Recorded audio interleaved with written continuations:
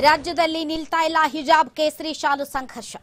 ವಿದ್ಯಾರ್ಥಿಗಳ ನಡುವೆ ಧರ್ಮ ಸಂಘರ್ಷದ ಹೋರಾಟ. ಧರ್ಮ ಧರ್ಮಗಳ ನಡುವೆ ಅಸಹನೆ. ಧರ್ಮ ಧರ್ಮಗಳ ನಡುವೆ ಕಿತ್ತಾಟ. ಧರ್ಮ ಧರ್ಮಗಳ ಮೇಲೆ ನಡುವೆ ನಾನಾ ನೀನಾ ಅನ್ನುವಂತಹ ಹೋರಾಟ.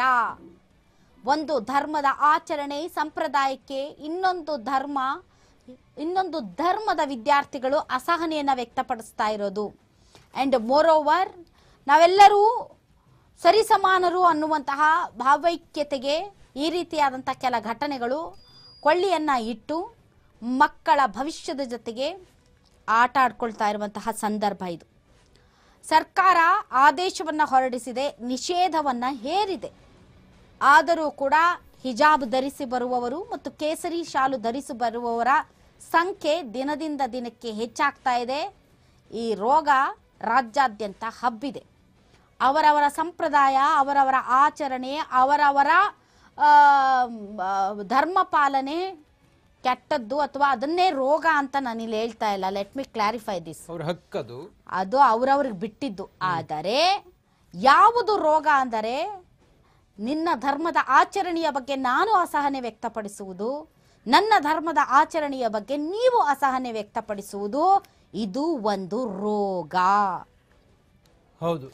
ಆ ರೋಗ ಇಡೀ ರಾಜ್ಯಾದ್ಯಂತ ವ್ಯಾಪಿಸಿದೆ. ಅದು ಒಳ್ಳೆಯ ಬೆಳವಣಿಗೆ ಅಲ್ಲ. ನನ್ನ ಧಾರ್ಮಿಕ ಆಚರಣೆ ನಂಬಿಕೆಗಳು ಇನ್ನೊಬ್ಬರನ್ನ ಶೋಷಣೆಗೆ ಒಳಪಡಿಸುತ್ತಿದೆ ಎನ್ನುವಾಗ ಅದು ತಪ್ಪು. ನಾಳೆ ಹೈಕೋರ್ಟ್ನಲ್ಲಿ ಹಿಜಾಬ್ ಕುರಿತಂತಹ ಅರ್ಜಿ ವಿಚಾರಣೆ ಇದೆ. ಸರ್ಕಾರ ಏನಾದರೂ ಮಾಡಿ ಇದನ್ನ ಸರಿ ಮಾಡಬಹುದು ಅನ್ನುವಂತಹ ಒಂದು ಒಂದು ನಂಬಿಕೆ ಇತ್ತು. ಆದರೆ ಆ ಒಂದು ನಿಟ್ಟಿನಲ್ಲಿ ಸರ್ಕಾರ ಮಾಡಿದ ಪ್ರಯತ್ನಗಳು ಫಲ ಕೊಡಲಿಲ್ಲ. ಹೌದು. ಯಾವುದೇ ಪ್ರಯತ್ನಗಳಾಗಿರ್ಬೋದು ಅದು ಫಲ ಕೊಟ್ಟಾಗ ಮಾತ್ರ ಅದು ಸಕ್ಸಸ್ ಅಂತ ಅನಿಸಿಕೊಳ್ಳುತ್ತದೆ.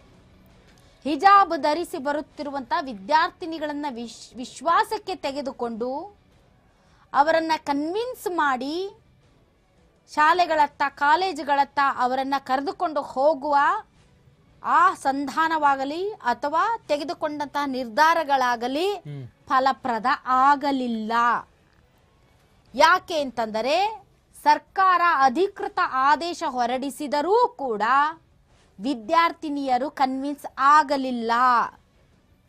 ವಿದ್ಯಾರ್ಥಿಗಳು ಕನ್ವಿನ್ಸ್ ಆಗಲಿಲ್ಲ. ಹಿಜಾಬ್ ಧರಿಸಿಕೊಂಡೇ ಬಂದರು. ಶಾಲು ಧರಿಸಿಕೊಂಡೇ ಬಂದರು. ಅಂದರೆ ಅರ್ಥ ಸರ್ಕಾರದ ಆದೇಶವನ್ನ ಪಾಲನೆ ಮಾಡುವುದಕ್ಕೆ ವಿದ್ಯಾರ್ಥಿಗಳು ಮನಸ್ಸು ಮಾಡಲಿಲ್ಲ. ಇದರಲ್ಲಿ ಸೋತವರು ಯಾರು? ಸರ್ಕಾರನ? ಅಥವಾ ಶಿಕ್ಷಣದಿಂದ ವಂಚಿತರಾಗ್ತಾ ಇರುವಂತಹ ವಿದ್ಯಾರ್ಥಿಗಳ ನನಗಂತೂ ಗೊತ್ತಿಲ್ಲ. ಬಟ್ ಈ ವಿಷಯದಲ್ಲಿ ಒಂದು ಸರಿಯಾದ ನಿರ್ಧಾರವನ್ನ ತೆಗೆದುಕೊಂಡಿದ್ದೀವಿ ಅಂತ ಸರ್ಕಾರ ಹೇಳೋದಾದರೆ ಅದರ ಪಾಲನೆ ಆಗಬೇಕಾಗಿತ್ತು. ಆದರೆ ಆಗಿಲ್ಲ. ಹಿಜಾಬ್ ಮತ್ತು ಕೇಸರಿಯ ಜೊತೆಗೆ ಇವತ್ತು ನೀಲಿ ಶಾಲು ಬಂತು. ಇದು ಇನ್ನೊಂದು ಮಜಲಿನ ಅನಾವರಣ. ಇದೇನಾಗುತ್ತೋ ಗೊತ್ತಿಲ್ಲ. ಮುಂದಕ್ಕೆ ಹೋಗೋಣ